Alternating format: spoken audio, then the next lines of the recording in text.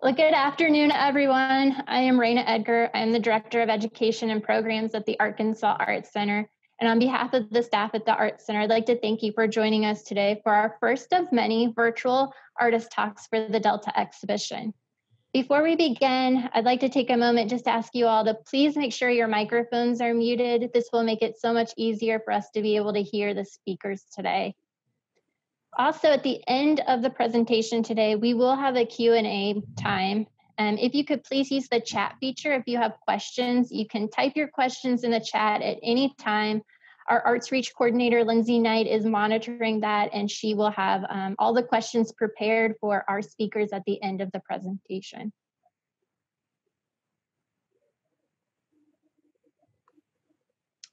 I'd like to take a moment to thank our supporters for this exhibition.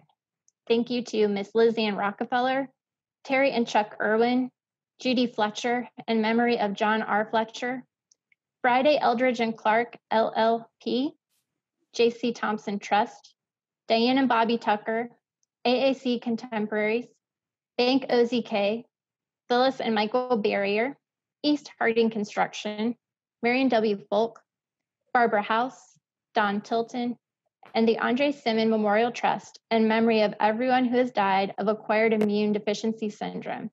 Our grand award is sponsored by the John William Lind Endowment Fund. As I mentioned, this is our first um, artist talk, and throughout the run of the exhibition, we will have a number of studio tours and artist talks. I hope you will mark your calendar and visit the Arkansas Art Center's website to register for all of these talks, um, which will take place over the next few months. So it is a pleasure for me to introduce to you our speakers today. Ajamu Kojo is a figurative painter and filmmaker who currently lives in Brooklyn, New York. He is a native of Little Rock. He grew up going to the Arkansas Art Center and is a graduate of Central High School. He attended Howard University, where he majored in film and television production and minored in theater arts. He splits his time between developing independent film projects, working as a scenic artist on television and film projects, and concentrating on his fine art. We are also joined today by Toni Phinisey-Webber, who's a park ranger at Little Rock Central High Historic Site. Thank you both for joining us today. And I am going to turn things over now to Toni. Okay, hello, good afternoon. I have been at Little Rock Central High School National Historic Site for six years. There we interpret the history of the 1957-1958 school year in which Little Rock 9 desegregates Central High School. Um, today we're talking about the Will Counts photos and I'm just here to give you a background on what led up to that photo on that day. Um, Little Rock becomes the focal point of the civil rights movement, actually, what people say the catalyst of the civil rights movement. And it's because of the f- pictures and the film that was taken that were taken on those days. Um, Elizabeth Eckford becomes one of the most recognizable of the Little Rock Nine because of the Will Counts photo on that special day. Um, in 1954, Brown versus the Board of Education is argued before the Supreme Court, and the Supreme Court rules it is unconstitutional to, pre- to separate public schools based on race. Um, Brown v. Board sets the tone for the civil rights movement, but very few few schools integrate right after Brown v. Board. Three years later, Little Rock School District becomes the largest school district to integrate thus far. And at the heart of this, you have nine kids who volunteer to desegregate a school. They send a, um, a volunteer form to the All Black High School asking who wants to desegregate Central High School. And 200 students originally signed up to desegregate Central but only nine mm, decide and only nine actually get inside the building.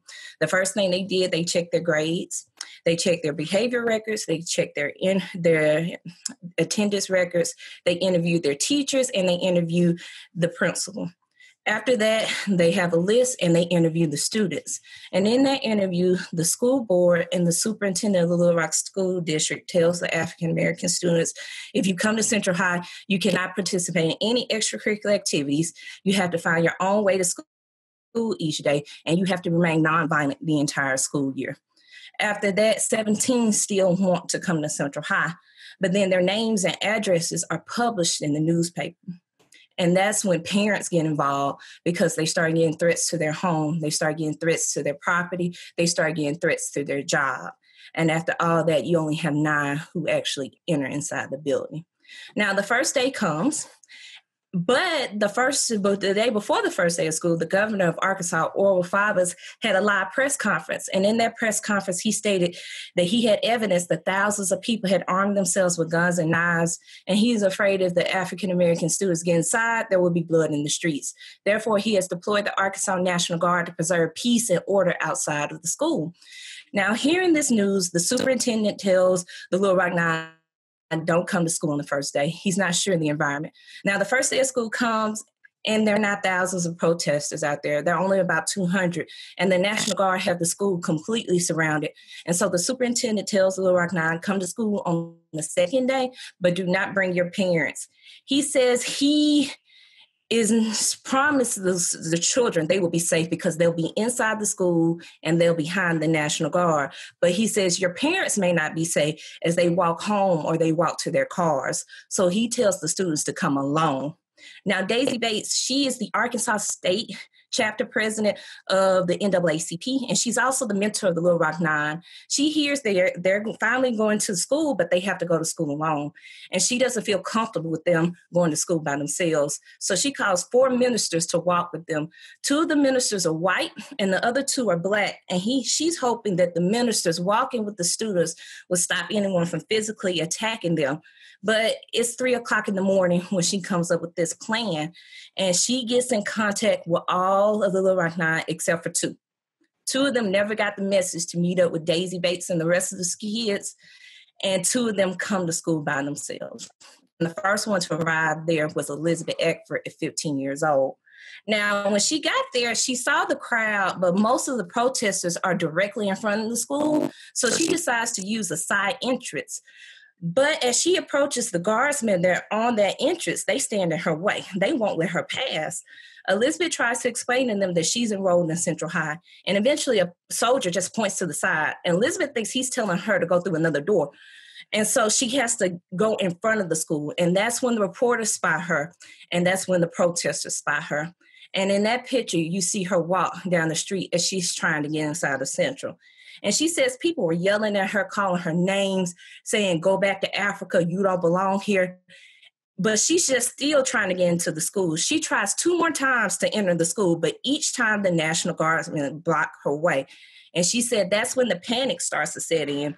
And she says she she scanned the crowd to try to find a kind face, and she locked eyes on an older lady who appeared to be nice. But when the, that lady looked at her, she spat on her as con- Elizabeth continued to walk down the street, people continue to spit on her and call her names, and someone yells in the background, Go get a rope. Elizabeth's just trying to get to the bus stop.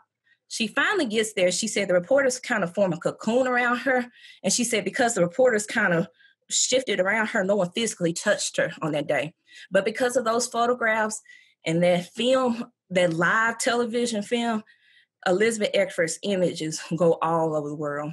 And this is the first look of race relations in the United States. The first big news stories that come out of the United States was number one, Sputnik.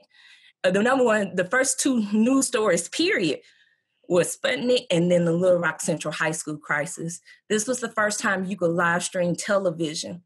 And if you didn't live in the United States, even if you didn't live in the South, you may not know what was happening in the United States. But people all over the world are watching. And Elizabeth got letters and gifts from people all over the world encouraging her to keep up the good work, keep up the fight. And these images, and particularly this one with her and a young lady named Hazel, she's the young lady right behind Elizabeth that yell, that's yelling at her. That Hazel, that becomes the symbol of the civil rights movement and it proves two things for the movement. Number one, the media was a very powerful tool in the civil rights movement. News broadcasts, live footage kind of forced the president's hand. What are you going to do when the world is watching you? And also, young people, young people become the backbone of the movement. John Lewis says all the time he watched the Little Rock Nine on television as a child in 1957. And that inspired him to be an activist, to know that teenagers, ages 14 to 17 years old, can make a huge difference in this world. But it started with these nine young folks in 1957. Now, all the Little Rock Nine are still with us, except for one. Only one has passed on. Elizabeth Eckford still lives here in Little Rock, Arkansas. Um, she speaks regularly, but she didn't speak for 40 years. And the reason why um, that photo becomes internationally famous, and she does not own the rights to that photo. So, can you imagine? You think you're about to die, and someone takes a picture of you. And for the next 60 something years, people keep on asking you about that moment over and over and over and over again. So she didn't speak for almost 40 years. But on the 40th anniversary, she finds she finally finds the, the the power and the courage to speak, and she speaks all the time. And she tells people, if you don't tell your story, other people will tell it for you. So um, she comes by regularly to the site to speak to groups. And also the young lady behind her, Hazel Bryan, the one with her mouth open, she was 15 years old too on that day. And six years after this photo was taken, she actually called to apologize to Elizabeth. And um, she says she didn't want her children to remember her that way. And she said her life is more than one moment. She said she is more than the worst thing she ever did. Um, but like I said, neither one of these ladies own this photograph. And so this is something they still deal with today. And so I just add all that to make people remember the civil rights movement wasn't that long ago. Most of the people we talk to are kids, and they're like, ah, that's ancient history. Like, no, it's not ancient history. These people are still with us. And the things they were fighting for in 57, they're still fighting for today. And that's why they still speak to people all over the world, still to this day. But um, thank you for letting me share this little spiel about the, fo- the history of their photograph and I'll be around afterward for questions as well. Now it's your turn. Thank you, Toni. I appreciate it. Um, before I get started, well, first and, for, first and foremost, I want to thank everybody that's tuning in. My name is Ajamu Kojo. Um, this is the, the, piece behind me is the, is the work that we are discussing today. Um, but before I get started, there are a couple of people that I would like to thank. Uh, I want to thank Raina Edgar, uh, Lindsay Knight, uh, Toni Webber. I want to thank the Arkansas Arts Center, uh, Brian Lang, Stephanie Fetter, the Historic Arkansas Museum, the FIA Foundation.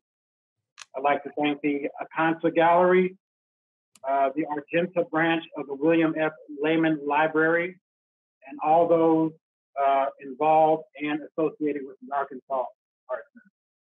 So, uh, the first thing I'd like to do is, like I like I mentioned already, I am from Little Rock, Arkansas, um, and I went to Little Rock Central High School. Now,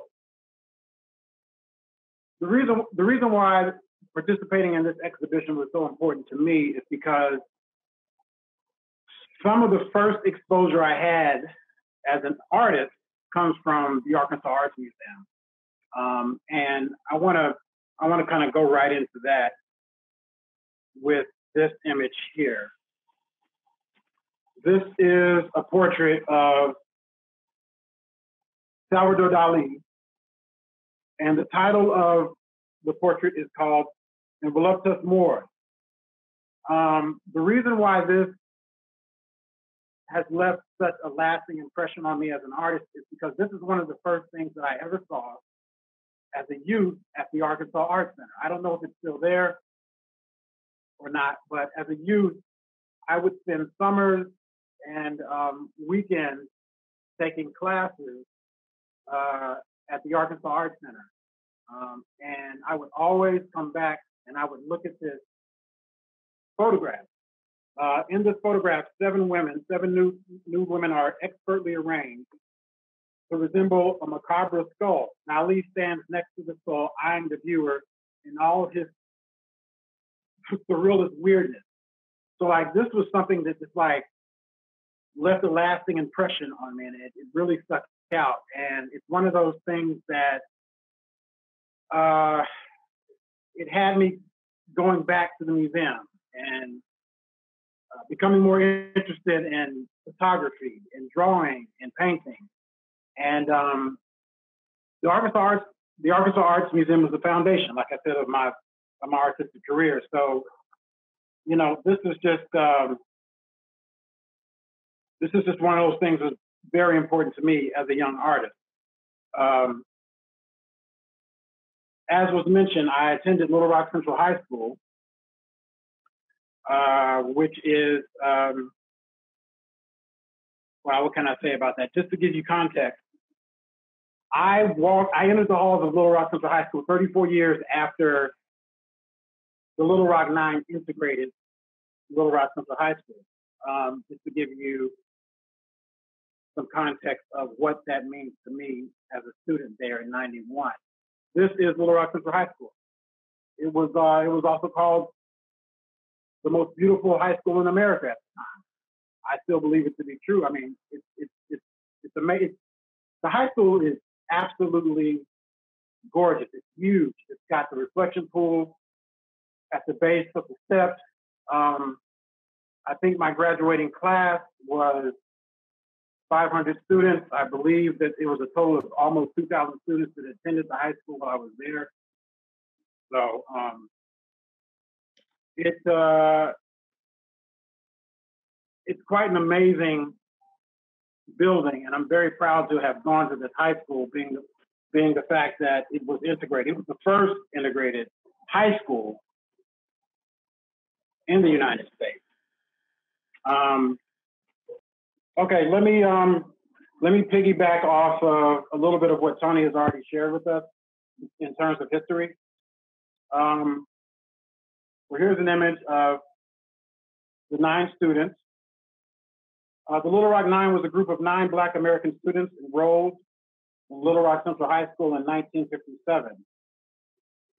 Uh, their enrollment followed by the Little Rock crises in which the students were initially prevented from uh, entering the racially segregated, segregated school by Orval Faubus, the governor of Arkansas at that time. Um, it's been reported when the photograph of Elizabeth Eckford by Will Counts was made, when it made the front page of the Arkansas Democrat and Arkansas Gazette at that time, this is what um, this is what uh, prompted Dwight D. Eisenhower to send the, uh, the 101st Airborne to intervene on behalf of the United States government to enforce integration into Little Rock Central High School. Uh, as Toni stated, Eisenhower sent in um, federal troops to escort the nine students into Little Rock uh, Central High School, at which point it drew national attention and was the catalyst which led to the civil rights movement. Those students' names are Melba Pattillo Beals, Minnie Jean Brown, Elizabeth Eckford, Ernest Green, Gloria Ray Karlmark, Carlotta Walls Lanier, Thelma Mothershed, Terrence Roberts, and Jefferson Thomas. Now, this is what a lot of people don't really like take into consideration, which if you look at this photograph right here, you can you can tell that they were these were teenagers. We're talking 15, 16 year olds. This image in particular, I find interesting because right there in the center of the frame is um, Minnijean Brown. And you can see her, what looks to be playfully saluting the photographer. I mean, it just shows you how young these children were during this time of such racial disharmony. Um, here's another shot. The caption reads, Minnijean Brown, 15, arrives with the other members of the Little Rock Nine outside Central High School in Little Rock, Arkansas, 1957. As members of the 101st Division of the Airborne Command stand ready to protect them. So just to give you more insight on the situation that was going on during that time. Um, you know, it's like think think back to what you were doing when you were 15 years old, and put yourself in these students' and think about the types of things that they were having to deal with in terms of like walking the halls of this school and being harassed and though escorted. There were times where you know the federal troops couldn't follow these female students into the restroom.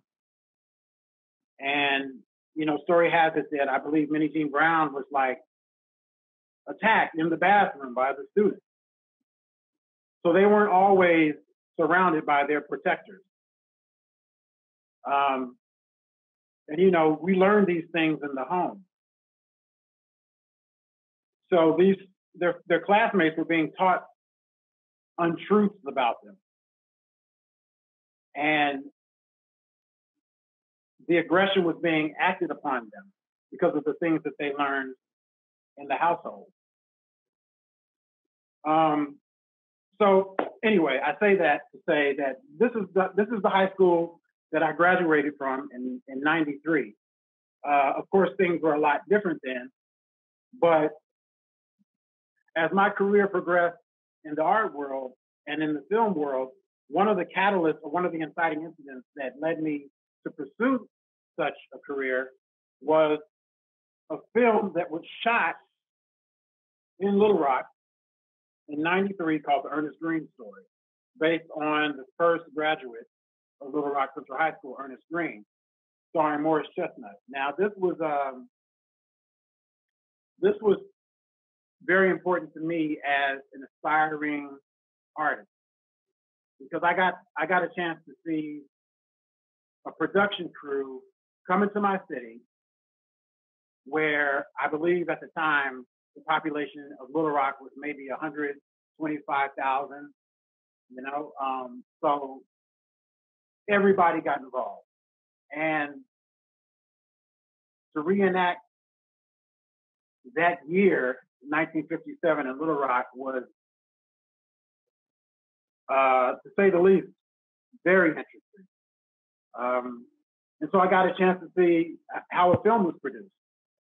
I got a chance to see how actors portrayed these real life events. And um, this was definitely one of the moments that sparked my interest in uh, in filmmaking. And so, you know, not to spend too much time on it, I went. I attended Howard University. I majored in film. Uh, I minored in theater. So there were there were you know there was a lot of time to spend writing screenplays and shooting films and directing them and learning about cinematography and that sort of thing. Um, but I've always been an artist. So that was always there. That was the undercurrent of, of who I was and what I was to become. Um, so, you know, postgraduate, I um, I found a way to to marry my interest in filmmaking and painting. And over the course of a num- over the course of a number of years, um, I became a member of the United Scenic Artists Union. 829, which uh, led me to, um, or afforded me the ability to work on like many, many films, many television productions, music videos, you name it. Uh, and initially, I was working as a production assistant, and then I worked my way into you know various departments. I worked in wardrobe, I worked in um, uh, I worked in the camera department, you know, I worked on the set. And one day I saw someone painting a portrait on the set, and I was very curious as to what that was because, like I said, in the back of my mind, art was always there. So I asked them what it was that they did, and they said, "Well, this is called scene painting, which is something that I didn't really learn at Howard, um, but I had somewhat of an understanding. So that was um, that was a career that I pursued, and am currently working working as a scenic artist in the film industry. So it's a nice combination of being able to work in the film industry and work as an artist. Um, so let me fast forward to 2018. I was uh, invited by the Sheen Center in um, New York, New York, to curate a show on the Little Rock Nine. Now, at the time, I don't even, it was on the heels of a, a solo exhibition that I had there um, entitled Black Wall Street, A Case for Reparations. So, on the heels of that show and the success of that show, I was invited back to curate a group show. And so I chose nine artists to participate in the show. And we um, exhibited work in conjunction with a stage production. And it was at that time that I finally got to meet, um, I think, seven of the Little Rock Nine were in attendance. So I got a chance to meet them. And that's what led me to produce, well, actually, yes, in a sense, that's what led me to produce the painting that you see over my shoulder, Wakanda Don't Cry. Um,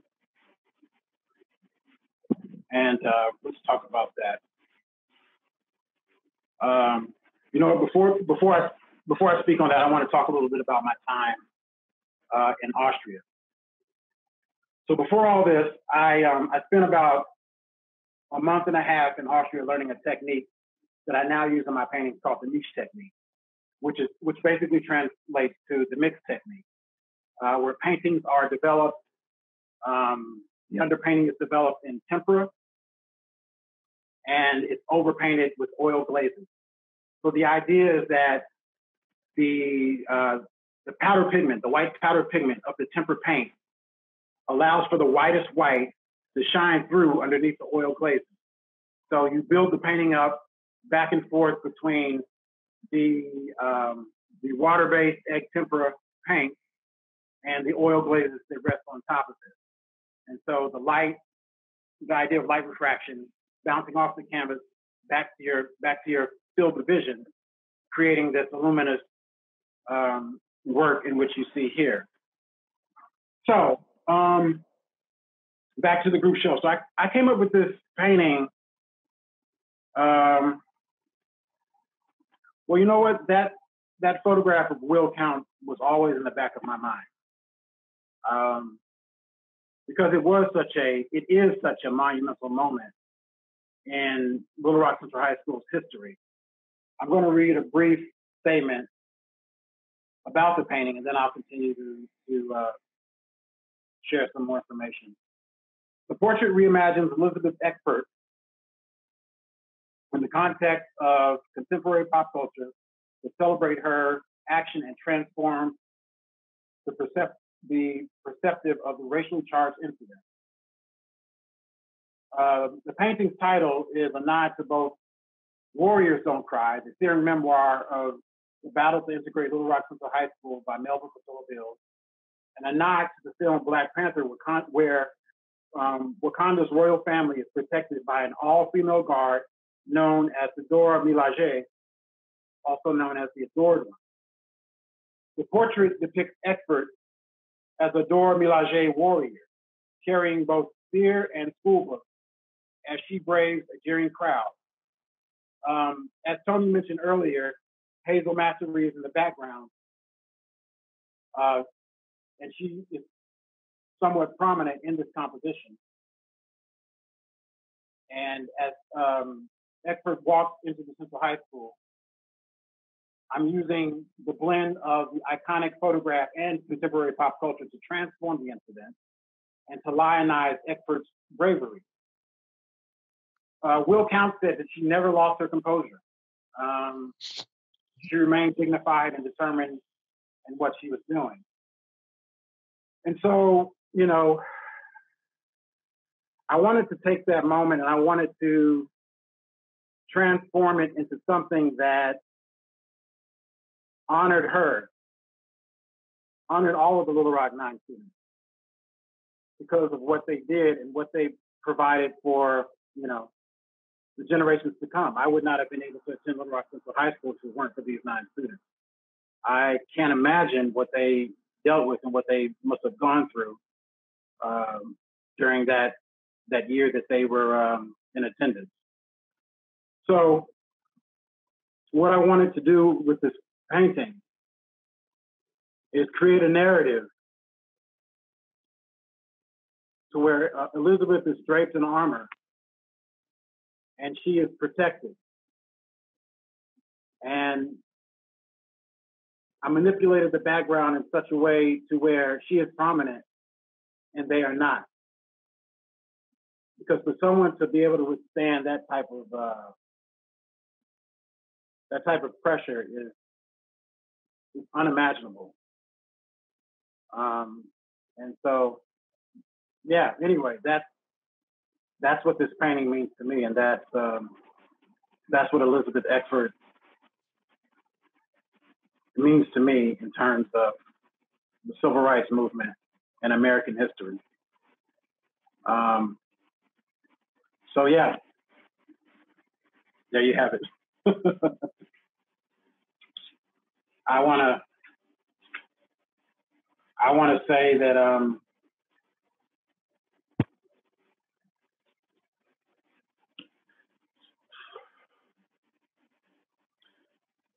all of these this imagery, all of these image, all of these images and this imagery is still very important and very prevalent. Um, just last week, we had a president who decided to host his first rally in a city where an estimated 300 African Americans were brutally slaughtered in Tulsa, Oklahoma. Um, so what I mean, what does that mean? You know, what what what's really going on? Where a man can, you know, essentially lynch another man in the witness of other people by extending his leg on another person's neck for almost nine minutes. Um, where where are we right now in terms of like race relations in America? I think that this painting is still very telling of you know how we're dealing with each other, how we're not addressing the real issues that are still um, a huge problem in this country. So, um, that being said, I open the floor to questions.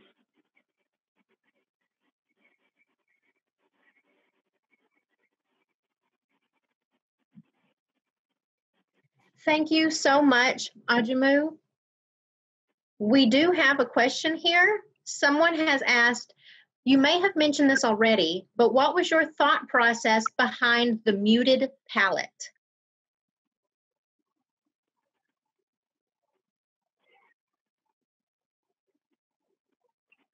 I wanted to add some color, but I did not want it to be in full color. Um, so I created a, I guess, some somewhat of a daguerreotype or sepia tone painting. Um, I wanted it to have a vintage feel, but also, you know, evoke the idea that it is contemporary. The fact that she, you know, her garb is her garb is contemporary, but she's still placed in a time that was, you know, over 50 years ago. So it was just a manipulation of uh, time and space.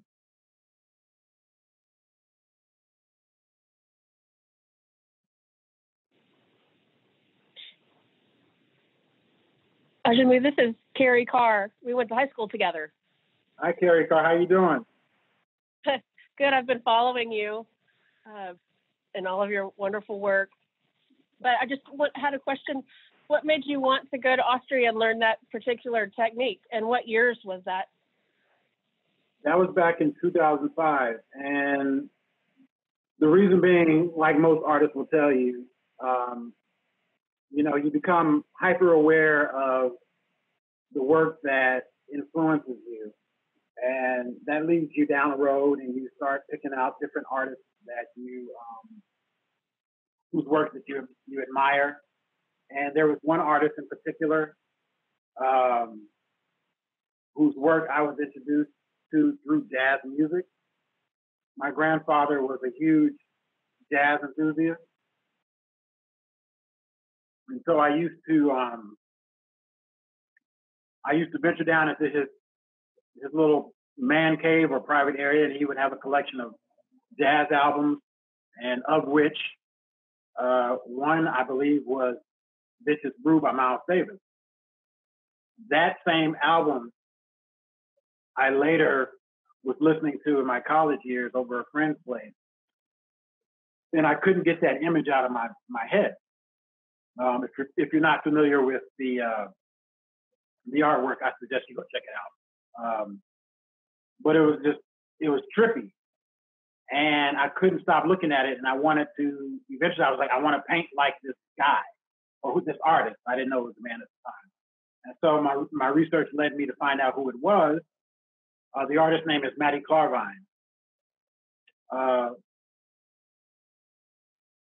Mati was um, German and Jewish. His father was, his, his, mother was German. His father, I'm sorry, his father was um, Jewish. His mother was German.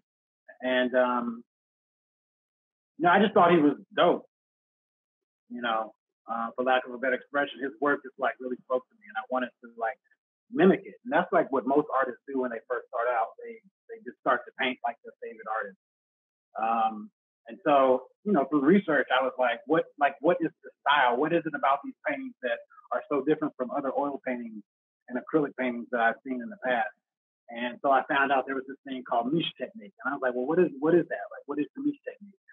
And so I started doing research online and I found someone that taught the technique who eventually became my maestro, my professor, um, Philip Jacobson. So I got in touch with him. He says, "Oh yeah, I'm in Texas. You know, I you know I teach the technique. Blah blah blah. You can you can come and learn." I was like, "Great. You know, there's nothing for me to get a you know, well not nothing, but like this is this was this was doable." And he says, "But I teach I teach my school. I teach the technique in Austria. So I was like, okay, well, now I have to figure out how to get to Austria to learn this technique. Um, so you know, like with most things, you learn it, you file it, you exercise it, and then over time you develop your own style. So that's that's that's what I'm in the process of doing, developing my own my own flavor. But yeah, I had to um I had to travel far and wide to, to learn this technique. But um, it was it was worth it. I really enjoyed it. It it, it lends itself to my meticulous nature. And Ajamu, I imagine uh, in the future you will have your own student or students. You know, I've been thinking about it seriously. I, you know, it's like, why not?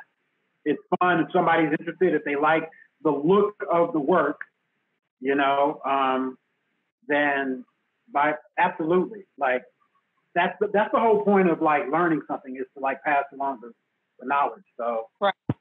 if there's anybody out there and they're interested, like hit me up because uh, I love sharing information. Well, I'm very proud of you, and hopefully uh, we can all see you for the next reunion. Thank you so much. We have another question from the chat. Uh, someone has asked, do you feel when you were going to school at Little Rock Central High School, do you feel that the true full history of the Little Rock Nine was taught? Well, I mean that's uh, that's an interesting question. You know, I guess it's kind of relative to by to what you mean by the, the true full history. Um, the history is taught, at least it was when I was there. Um, you know, I was there at a time where, um, like I said, the, the, film was produced. I believe Clinton was he wasn't president; he was the president elect. Um, the short the short answer is is absolutely like it's it's one of the things that people go to Little Rock, Arkansas to check out is to look at that school, to like see what and like when you get there, it's like wow, it's majestic how how large that school is. You know, you can't even really describe it in, uh, in words or in in photographs. Um, so for me, yes, as I walked down the halls, I, I, I thought about that. I you know that was was it constantly on my mind? No, but like that was something that I always thought about. Like wow, I'm, I'm attending a high school where the Little Rock Nine, the Little Rock Nine integrates. Like that's that's major. Um, so yeah. Okay, we can take two more questions. Uh, I have one ready. Can you tell us about what you are working on presently?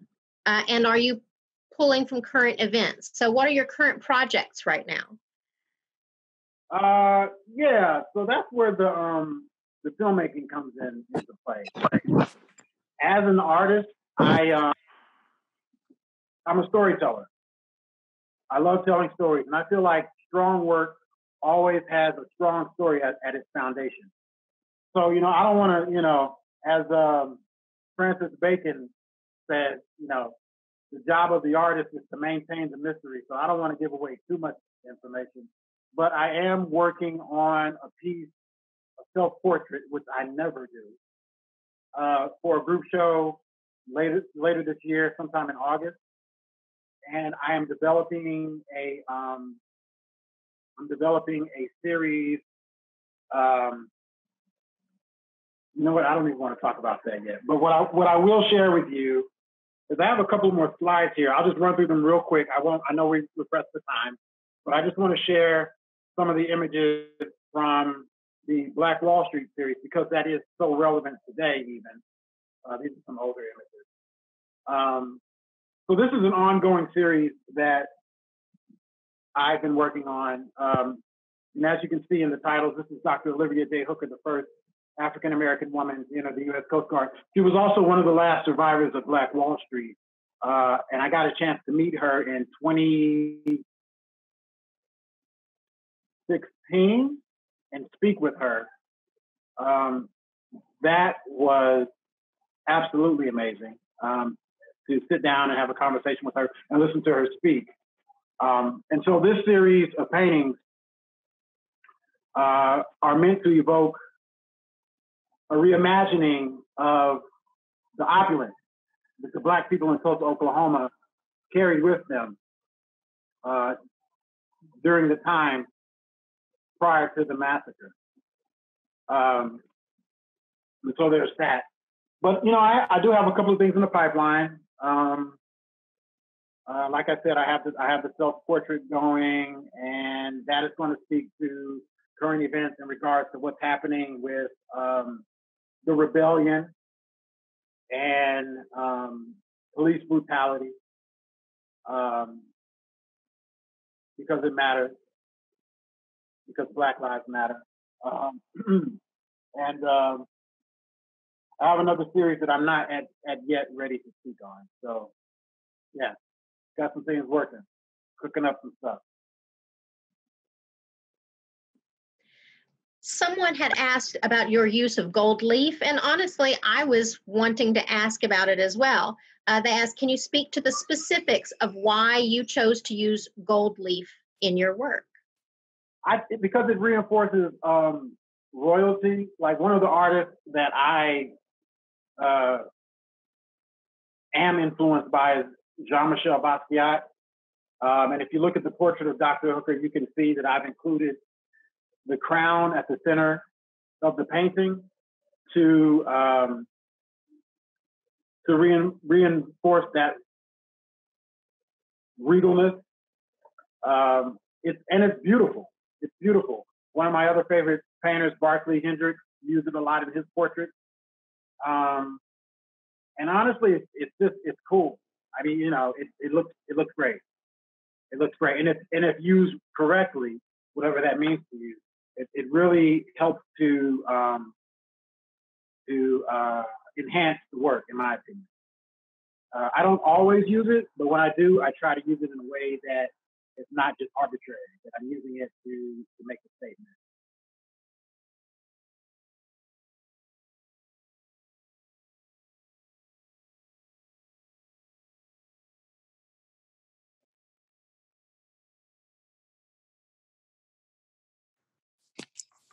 Hi, can I jump in here? Absolutely. Hey, Ajamu, it's Julie. Hey, Julie, how you doing? Good. How you doing? That was really. Uh, I just wanted to say that um, you're already a, a, teacher of sorts because I've known you for many years and known your work, and I learn more and more each time. So, your teaching has already begun. Um, my question to you was, uh, and you know, I don't, I, I don't mean to put you on the spot. I don't know if you think about this, but as far as the Little Rock Nine, do you see any um, kids or, you know, uh, young 20 uh, year olds, sort of those heroes of today and what's going on? Any people in particular or groups or have you, has that entered your mind? Um, you know, off the top of my head, well, absolutely. You know, that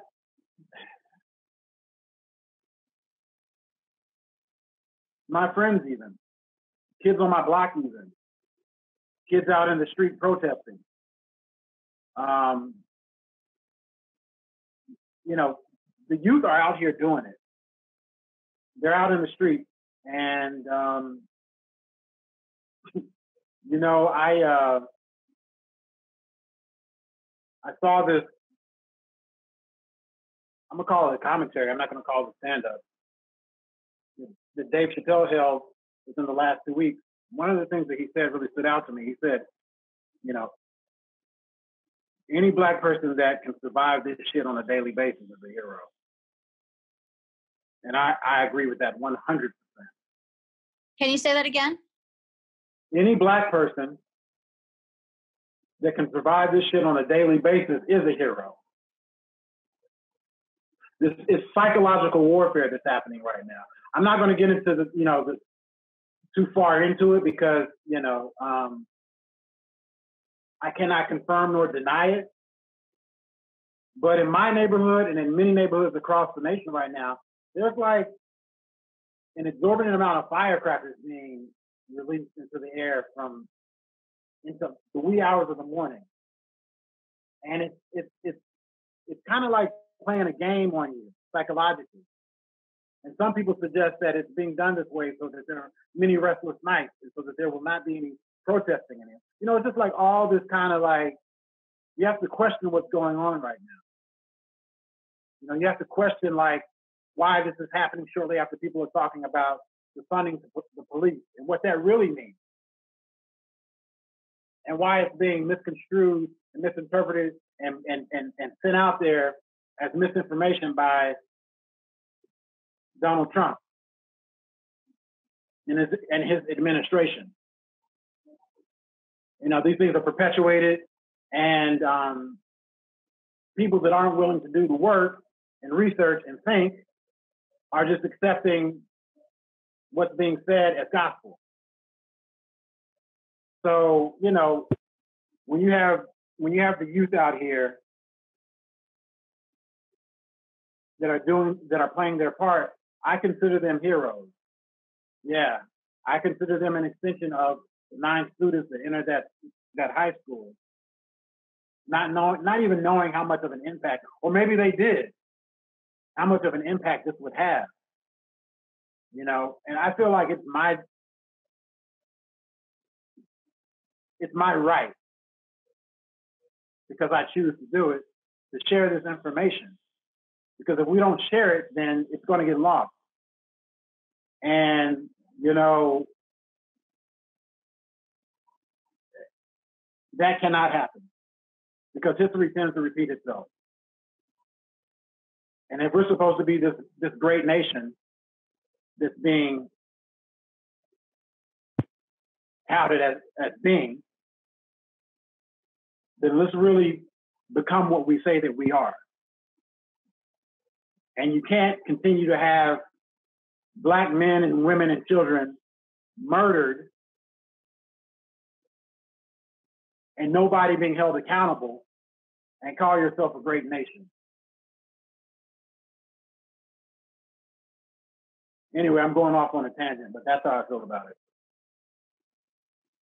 Thank you. That was great. You're welcome. Are That's there any more?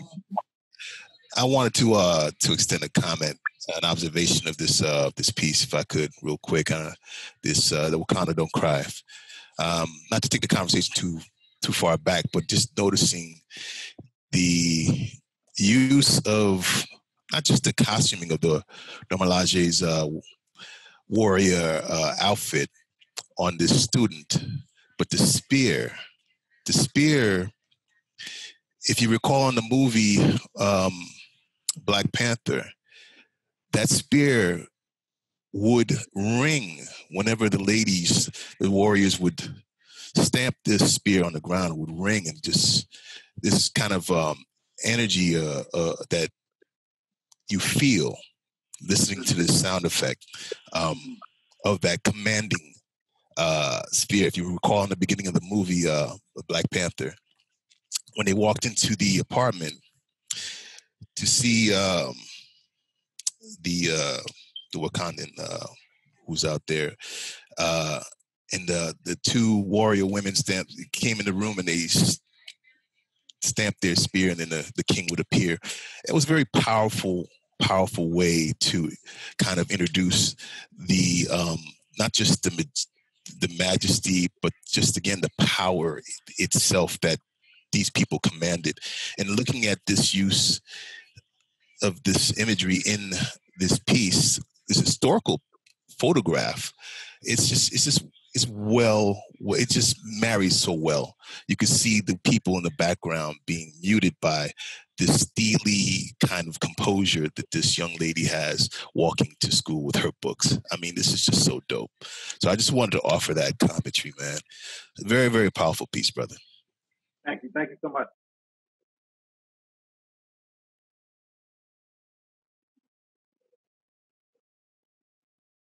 Are there any more questions?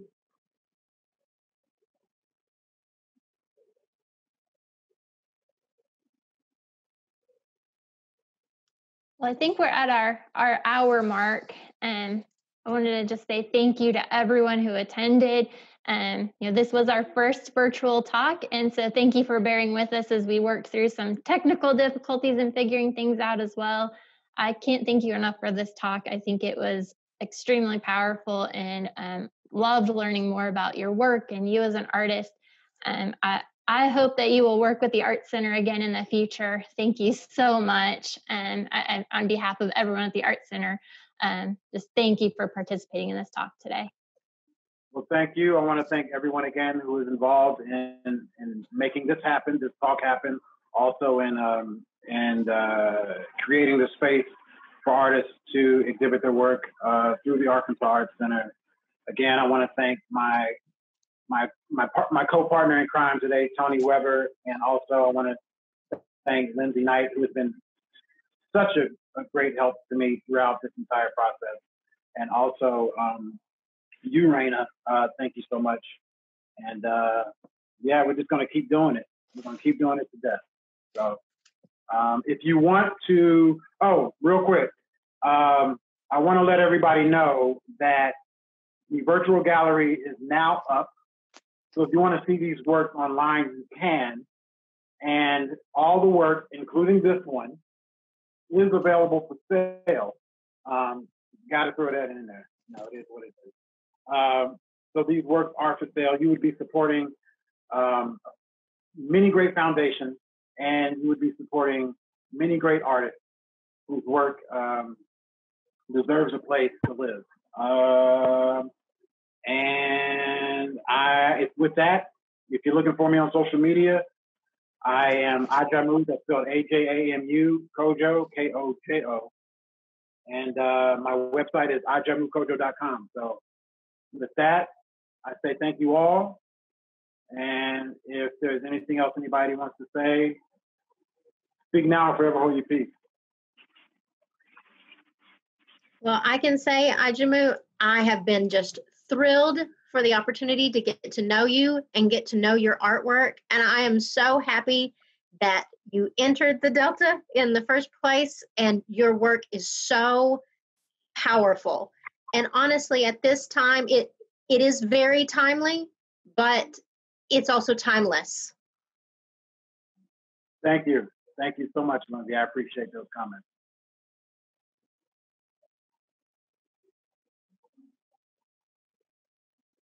I'll give it back to you, Raina. All right. Well, if there are no comments, we're going to close out the meeting. Thank you all for attending today.